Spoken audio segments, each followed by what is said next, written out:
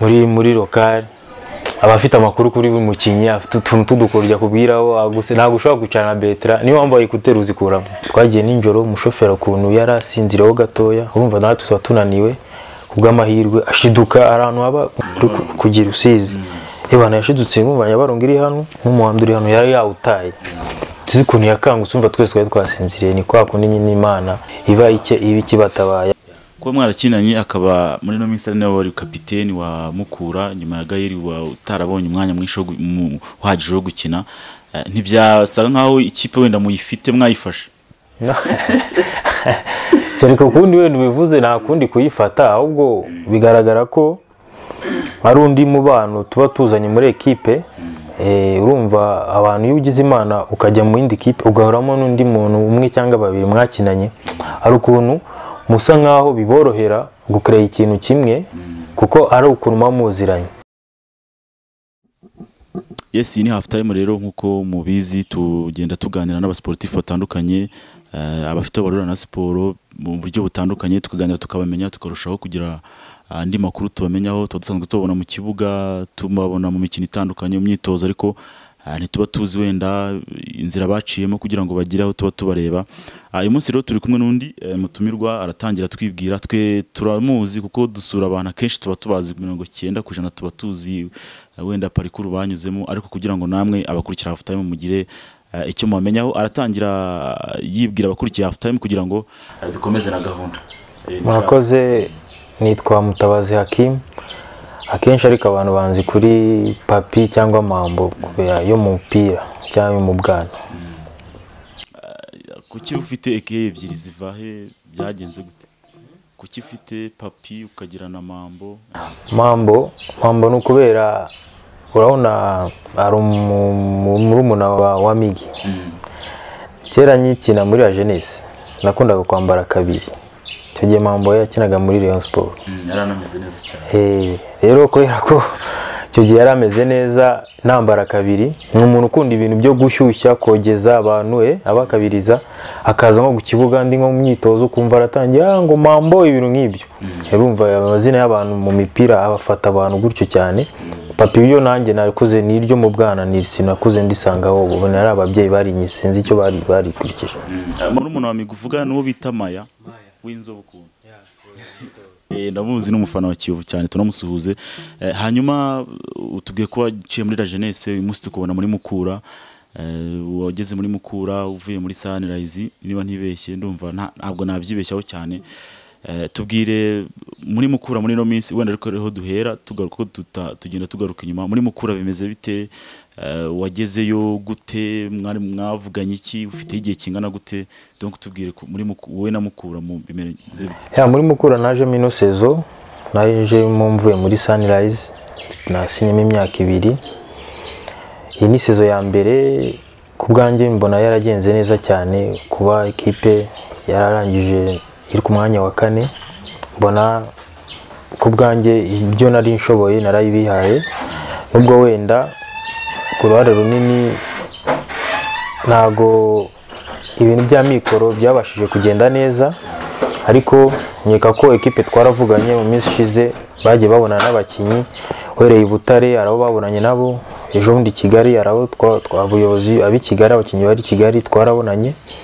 Twemeranya ko bitarenze uku kwezi kwa gatandatu dushobora guhabwa ibyacu byose. Nabundi mfite imyaka ibiri muri Mukura kandi nsigaje umwaka umwe ubu ngubu ndacyari umukinnyi wa Mukura hari amakuru twumvishe mu minsi yashize amarayinapu twagiye tubona bagushyira muri musanze muri mediyani ya musanze.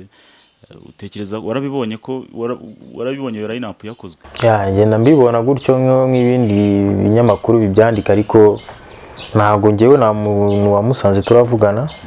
Gusa nk'uko murabikubwiye ndacyari umukinnyi wa Mukura kuko ngifitiye umwaka wayo. Hanyuma wavuye muri sunrise eh, ndibuka mu minsi ya nyuma eh, ya sunrise ntabwo wenda bagukoreshaga cyane mu kibuga ubanza mu kibuga eh, uva hariya nk'umuntu ushaka kujya gukina n'ubundi sunrise ni ikipe navuga ko wenda iri ntoya wenda mu izina kuri mukura bisa naho wari uzamutse mu yindi kategori. Umwanya warabonetse kwa mukura niki wahinduye ni iki wenda waburaga kwa Sunrise muri iriya minsi ya nyuma byagenze donc ni iki wakoze kugira ngo hatabaho zirampinduka ibintu byose ibintu byose bisaba ni gukora cyane. Birashoboka ko uyu munsi ushobora kujya muri ekipe umutoza mu gice cya mbere nko muri fazare ntabone performance yawe ariko wowe nk'inshingano zawe nk'akazi kawe utagomba gucika intege. Kuko igihe kiba kizagera ukabona uwo mwanya kandi ukawuharanira. So nakomeje kwihangana kuko ngendo ntabwo ndi umukinnyi w'umwana. Nzi ko uyu munsi ushobora kuba udakina ejo ugakina bitewe. N'inyungu ikipe gushakamo cyangwa umutoza gushakamo. So bigeraho ndagaragara uma- mukura ingirira icyizere ko nabanje kujyayo muri mukura muri sekafa. Eh, bagiye gukina muri sekafa abenshi twa- twakiniye mukura muri sekafa tudafite kontra sekafa irangiye ni bwo bagendaga bavuga ati uyu mukinnyi dushobora kumwiyambaza muri sezo igiye kuza baba dufashe gutyo. Tuba dukiniye mukura gutyo ariko kugeza muri aka kanya ku bwanjye ndabona nta kibazo kabisa muri mukura. Eh, muri mukura tukubona ukina hagati mu kibuga. Ariko eh, dutangira batubwiye ko muri la jeunesse wakinaga kuri kabiri. Eh, bivuze ko ufite imyanya myinshi ukinaho ushobora gukinaho mu kibuga. Mm, muri kabiri. Eh wambaraga kabiri. Nambaraga kabiri. Nasanzwe nyine hagati? Ubundi nazamutse muri ajenesi nakinaga muri ax mede gukina kuri sisi natangiye gukina ngeze muri diviziyo ya mbere.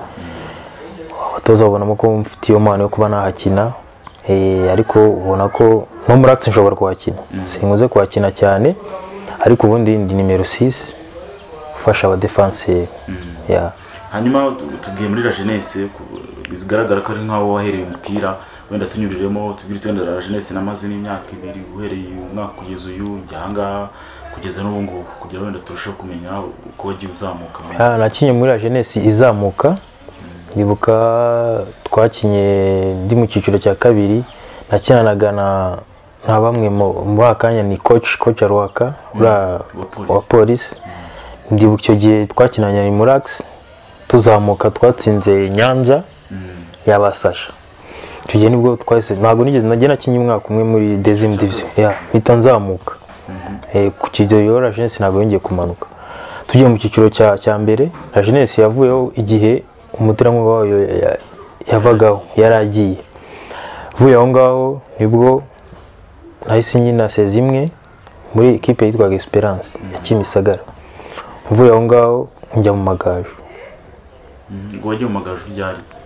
Y'amagaju nka 2015 2015 magaju sinatinzeyo mpita njya muri musanze. Mm. musanze yakinye 2016 2017 Mm. mvuye musanze njya sunrise. 2017 2018 Mm. 2018 mpita nza i butare. Ta- 2019 ni 20 eh, bivuze ngo umaze nk'imyaka nk'irindwi gutyo umunani mu cyiciro cya mbere. Yes. Ntabwo ari mike. Ntabwo aba ari mikeya hanyuma gukina mu makipe eh, amagaju musanze sunrise mukura ntabwo ari experience ntoya. Eh, tubwire wenda nka nka challenges wahuye na zo urumva kuva muri za esperance ukagenda ugasubira ukajya mu magaju ukagaruka hari ibintu byinshi waragihuriramo na byo. Eh, bituma wenda uvuga uti nta handi ahantu hose najya ubu ngubu nakina. Ikintu cya mbere mbanza gushimira imana murabizi urumva gukina mu aho ngaho muri izo ntara zose.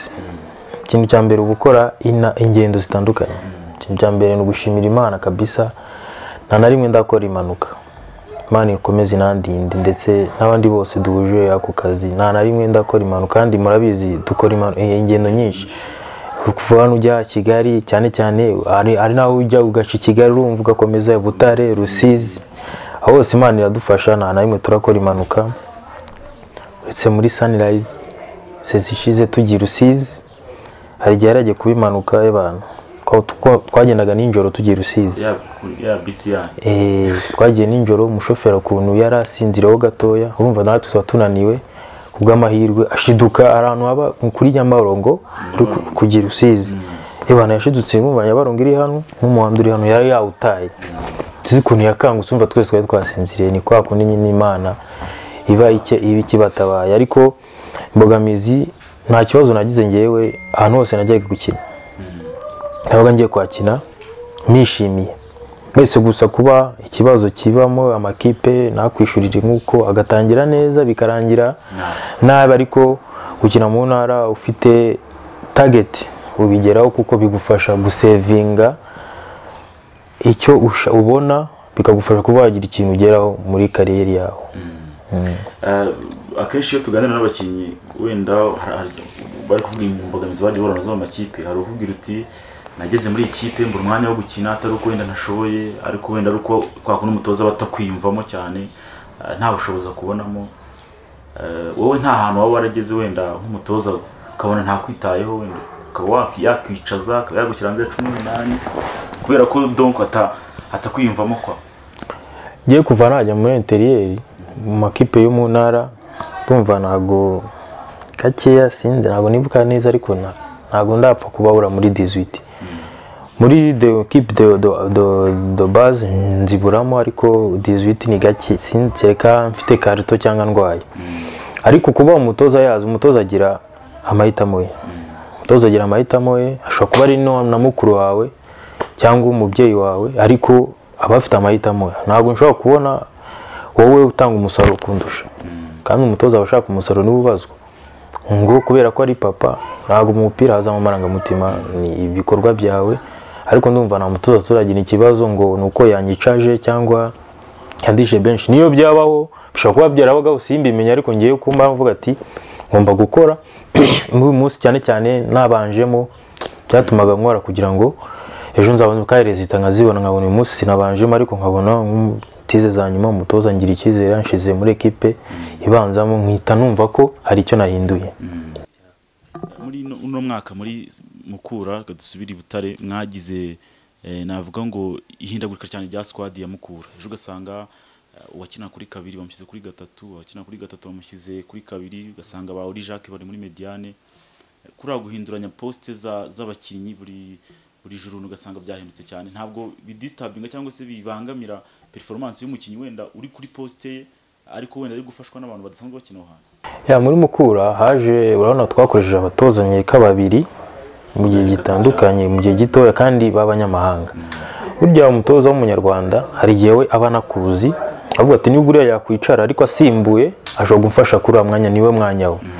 Ariko urabona habanje ovambe dukinana igikombe cy'intwari ndakeka turagitwara eh. ariko nyuma yaho agirana ibibazo na komite haza umuzungu toni toni nawe yari ahari ariko dutwara kiriya gikombe. Ariko buriya umuntu aba yicaye ariko afite filozofi ze. Hari igihe azana nka ori jacques muri mediane ariko nimba wibuka neza igikombe cy'intwari kirangira ori yaje muri ekipe y'igikombe cy'intwari kandi ari muri defense ari muri axe. Ariko ubu umuzungu ashobora kureba burya mu byo nakubwiraga akagira shuwaye akamufata akamubona ko aza kumufasha muri mediane. Ariko aho ngaho ku rundi ruhande hari igihe umukinnyi uba umukoresheje ibindi bintu cyangwa umwiciye irindi zina rye nanone ugatuma agira ibitekerezo byinshi. Ejo ugatuma bamubara hano cyangwa bamubara hano ariko ku ruhande rwacu natwe ntabwo nta kintu gukora twe turi abakozi baranabakoresha uba ugomba kugendera ku byabo. Ubu nawe baguhengetse muri axe wagera eh nako usanzwe Bagushyize nko ku icyenda watera Ah, aho- yabigoranye. mu myanya yenda idefanda aho ushobora kwiga ku mpande muri axe utarenze kuri sisi ushobora ushobora kwikaza kabisa. Ariko buriya bavuga ko ngo abadefenseri cyane bo- abadefenseri santro ngo kubera aba yarahuye n'aba- n'abataka benshi azi amayeri bakoresha burya ngo ashobora gukina kuri atake aho akenshi njya mbona n'abantu benshi baba baba baba defanseri iyo bavuye kuri defense bajya kuri attaque nimba ari uko aba yarafashe abantu benshi aba yumva nawe ashaka ko bamufata. niko mbibona. Hanyuma mu bakinnyi mwagiye wagiye ukina n'abakinnyi benshi ba Urimwengu Jules mwarabanye ba Babo Samson mwarabanye. Eh ni uwuhe mu defense ah, hari abakinnyi ushobora kuvuga uti tugiye guhura nabo? Ariko nansabiraho umupira na nawe usaba ari hafi yanjye ugomba kumufata biraba ari- biraza kunsaba imibare myinshi. Eh, tubwire nk'umukinnyi ushobora kugusabira umupira hafi kuko akenshi abantu bari kuri gatandatu usanga uri guhura n'umuntu ukina icumi ushobora usanga eh, uri guhura n'abantu bakina umunani kandi tuzi ko iyo myanya ikinaho abantu bafite tara ariko tukaba tuzi ko gatandatu na yo ntabwo ari abantu bose babonetse. Usanga umuntu uyiriho ari inike usanga nyine ikipe yimubuze nyine bibi bibazo. Tubwire uti uyu muntu agusabiye umupira hafi kumufata biba bigoye. Eh, njyewe cyane cyane ariko ni abantu benshi abakinnyi barebare. Bakunda kururwa n'abakinnyi bagufi. Eh akunda gukina bagufi ko umuremure we mushobora kujya mu mbaraga mukarwana ariko mugufiya buriya hari umukinnyi dukina na match hari match nyiri muri Musanze nabashe guhuramo ni bwo bwa mbere nari muhuye na Jabel. Rayon Sport Jabel ari muri Rayon Sport. Jabel urabona ukuntu asaba imipira cyane yarangoye cyane kuri iyo match ntabwo wahita ubivuga ariko njyewe mba mbyiyumvamo. Iyo match naratashye ndavuga eba nkumva ndananiwe kandi nkabona ntabwo na- na- na- nakoze ibintu byinshi ngo nirukanke cyane ariko nyuma ni bwo wicara ukabona ko umukinnyi wari ufashe niyo hari ikibazo. Jabel kabise ba ubona ko nubwo abantu babona ngo afite umubiri munini ubu ngubu ariko icyo gihe siko yari ameze ariko tu aba afite yataraye. Eh usaba umupira hariya ntabwo ahagarara ahantu hamwe. Hari n'abandi bakinnyi benshi ariko ku bwanjye Jabel ni we wangoye. Ariko bakunda kuvuga ko ah, niyo abantu baganira kuri za whatsapp iyo ah, nk'umuntu avuze nk'ijambo umuntu agahita amukasa nyine ka agahita amujyana kontre y'ibyo yavuze babyita nyine gukina gatandatu. Eh, bakabihuza nuko ngo abantu bakina gatandatu ebana ngo nta mpuhwe bajya bagira. Agufashe nyine biba nk'ibyo ngibyo. Urabyemera nawe? Eh, n'ubundi ahanini urebye gasa umunimero 6 ahanini ngewe mbara ubona ko kugira ngo bagere kuri defense no ku muzamu. Ubona ko ba defense ya mbere nubwo bavuga ngo ni attack n'abandi ariko usanga uruhare runini bari abantu b'imbere babo bamaze kubacaho. Undi muntu w'umutabazi wa mbere uba usigaye ni nimero 6 ubwo kuri nimero 6 ubwo iyo birangiye uba inzira iba ikomeje abasigaye swat ikosa rya penalty swat kufura yo hafi imbere y'izamu ariko nimero 6 impamvu usanga nimero 6 aba ari we ufite uruhare runini muri ekipe biriya bintu se byo gukasa gutera amatakire gukandagirana ni ibintu abatoza babatoza cyangwa umuntu arabivuka Mm, ntabwo umutoza abigutoza kuko iyo nimba muravuze ngo uri umukaseri ni nko kuvuga ngo ufite impano. Ufite impano yo gucenga. Ubwo uba ufite n'impano yo gukora iki? Yo kubuza abantu nyine. Ntabwo ku- kuba gukasa babigushiramo kandi uba ugomba kuba ntabwo ugomba kuba uri umuntu uh, ucecetse cyane Umupadiri. eh, w'umupadiri ntabwo bishoboka ugomba kuba gusa ni 50-50 uko mu mupira bibamo. Uyu munsi ukaba muri- muri action ugomba kugira n'igitsuri. Ariko urabizi ko nyine nyuma ya football ni ubuzima aba ari akazi ariko uba ugomba kuba umuntu uri uri strong kabisa kuko bisaba ko ibintu byose ni imbaraga no kurwana. Mm, ubwo igitsura uvuze muri futu ni kwa kundi? Ni gukasa ye uka- uka- waguciyeho ugatuma agenda afazare urumva ndemba ndi imbere ya defense. eh nimba ari aha ariko atari nka bimwe bya bya baramosi amosi we yarakabya kabisa. Umuntu yahita ukamukurikiza inkweto. Ah ushobora kumukoraho gatoya gusa gatoya akurenze kugira ngo wenda agwe bibe ikosa bitaragera muri defense ariko nta mutima mubi. Mm. hanyuma tu- muri ino minsi twabonye cyane cyane uri gukorana na na ramazani niyo nkuru boateng. Eh, umaze igihe wenda ukina twarebye experience ufite ntabwo ari ntoya. Eh, hagize nk'umuntu uguhamagara w'umutekinisi abwira ati dukeneye umukinnyi ko dukeneye umukinnyi kanaka?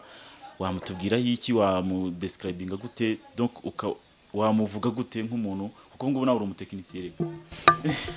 Eh, nshaka kuvuga kuri rama. kuri rama rama ari ubwa mbere dukinanye no muri Musanze twarakinanye. Urumva biranyorohera gukinana nawe. Mba nzi uburyo namufashamo mba nzi uburyo abazi uburyo yamfashamo. Kuko ahanini iyo turi gukinana ashobora kuba we ashobora kundenga akagenda ariko ngewe mbavuga ati buriya nagenda akaba yatakaza umupira ndasigara mukoreye buroke mba nzi kote hari ukuntu abantu bakinana ukamenya uruhande wowe rukorohera. Nzi ko wenda ngewe ushobora korohera gukinira uruhande rw'ibumoso we agakinira iburyo. Kandi nk'umukinnyi mu kibuga arorohezanya ntabwo gushyiraho puresha nk'umukinnyi mwiza igihe twakinanye hari byinshi namwigiyeho. Kuba mwarakinanye akaba muri ino minsi ari nawe wari kapiteni wa Mukura nyuma ya Gayeri utarabonye umwanya mwinshi uhagije wo gukina. Eh, ntibyasaga nkaho ikipe wenda muyifite mwayifashe. Kereka ukundi wenda ubivuze nta kundi kuyifata ahubwo bigaragara ko ari undi mubano tuba tuzanye muri ekipe. Eh, urumva abantu iyo ugize imana ukajya mu yindi kipe ugahoramo n'undi muntu umwe cyangwa babiri mwakinanye. Hari ukuntu musa nkaho biborohera gukorera ikintu kimwe kuko ari ukuntu muba muziranye ariko byo kuvuga ngo kuyifata nta kundi kuyifata ahubwo kuko na gahera igihe twakinanaga kandi na gahera twakinanaga ukabona ni mediyane nziza kuko ni umukinnyi mwiza gahera na ekipe itamu itamukenera. Eh, respect kuri we kabisa. Ari mu bamediyateri nanjye hano mu rwanda ntemera kandi nigira ibintu byinshi. Kuba rero bataramukoreshaga na rama wenda akaba ari we wamusimburaga nk'ukapiteni cyangwa ayoboye ekipe muri rusange.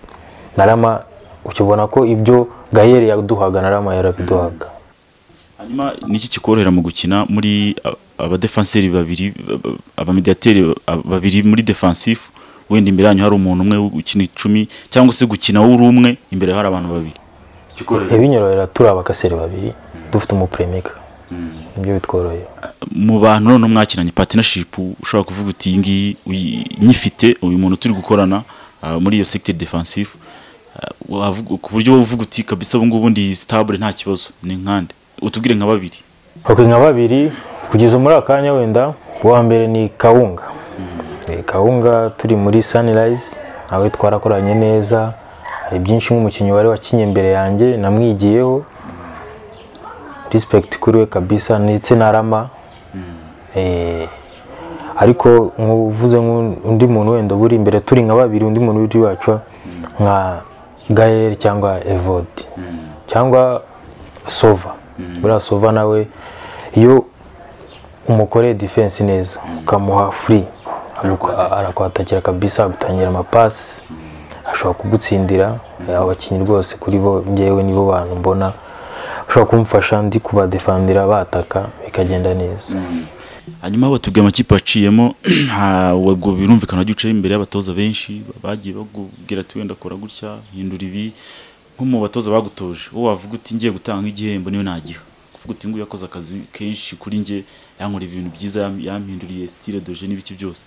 Ni nkande wakapurishiti eee urakoze kumbaza icyo kibazo. Ntabwo biba byoroshye ariko mbere na mbere ndashimira umutoza wanzamuye. Wangiriye icyizere ari kocayive Cocayive rwasamanzi. Nakinaga muri la jeunesse we ashobora kuba sinibuka ekipe yari arimo ariko ubona ko ntabwo yageraga muri ekipe cyane ariko yahazaga nk'umutoza wa ekipe. Abantu bose iyo uvuze la jeunesse bahita bumva kocayive ariko maze kugera diviziyo ya mbere ndashimira umutoza gatera. Ko gatera ni we muntu waje muri twahuriye muri sunrise alphonse. Muzi gutyo ariko araza arambwira ati uri umukinnyi mwiza kandi ugomba kuzaza umfasha. Nanjye numva mbaye proud yanjye y'iryo jambo numva binteye ishema nubwo tutakomezanyije ariko ahari ndakeka ko ameze neza ariko yaramfashije. Mm. hanyuma mu bakinnyi mwakinanye. N'uyu mukinnyi uvuga uti uyu nguyu eh, ngiye gukora nk'ikipe cyangwa se ndamutse mfite nk'ikipe namugira kapiteni. Eh, kumugira kapiteni mu bakinnyi ubu ngubu bakina mwagiye mukinana mu makipe atandukanye.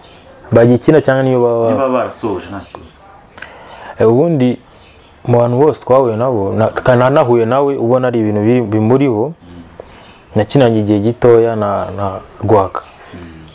Ariko ubona ko kapiteni burasari kuva n'uyumvisha amateka wumva yaragiye imukurikirana kuva ari mu majiniyo yakomeje ari kapiteni kugeza aho muwe nawe wumva afite icyo kintu cyo kuba cya leadership guhuza abantu eh, kumenya ngo uriya muntu ameze gutya. Igihe binarenga ukabona afite izindi nshingano zirenze no kuba ari kapiteni.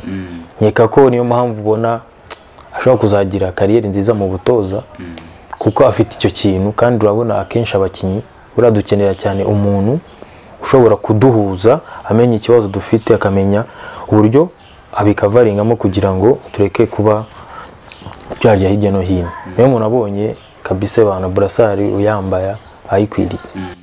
Mu bakinnyi mwahuye nabo birumvikana iyo muri muri lokale ba- baba bagomba kuzana utuntu twa komedi n'iki?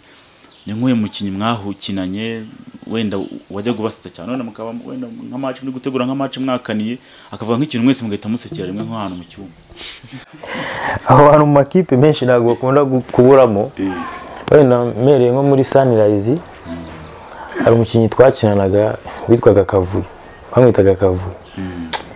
Niyo ni ibintu byose yakoraga. Niyo yavuga amagambo wahitaga wumva ubigusekeje kavuyo yari ahari hariya amenye ino sezo bataramuhaye ikarita.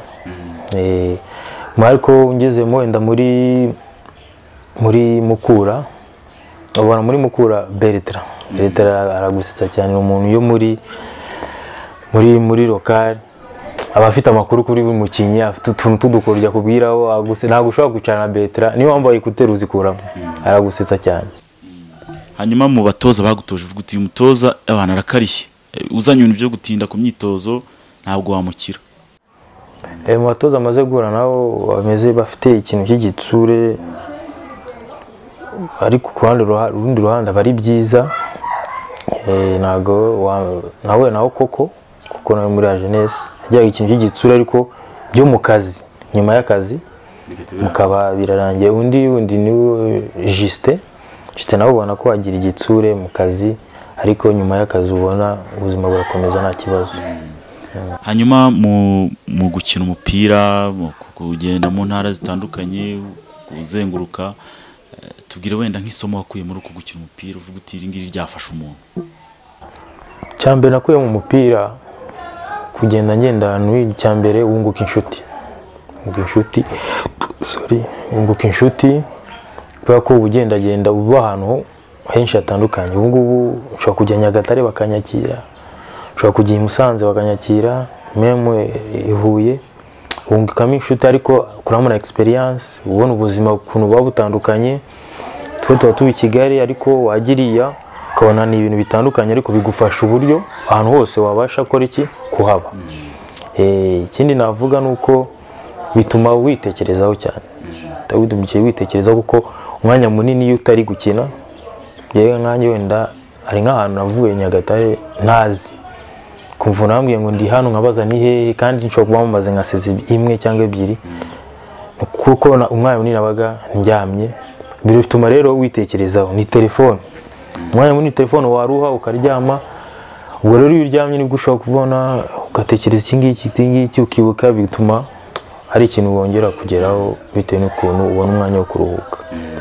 Eh, dusoza dupangira ikipe y'abantu cumi n'umwe ikipe nziza yawe y'abantu mwagiye mukinana. Nawe ubwo uraba urimo ubwo uratubwira abandi icumi tubwire uti mwizamu nashyiramo akanaka gutyo.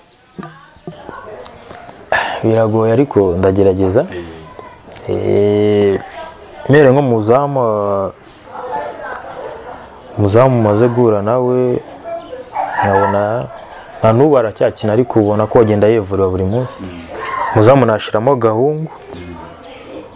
Eh, umuzamu nashyiramo gahungu kuri, kuri kabiri nkashyiraho omar serumogo. Eh, kuri gatatu nkashyiraho evra. Niyo nshuti Eh, muri akise muri akise nashyiramo hariya na- nakinanye nabo Eh, muri akisi nshobora gushyiramo oli. Eh, agafashwa agafashwa na alex alex Ngirimana. Eh, hagati nkakina njyewe na rama. Evode imbere yacu.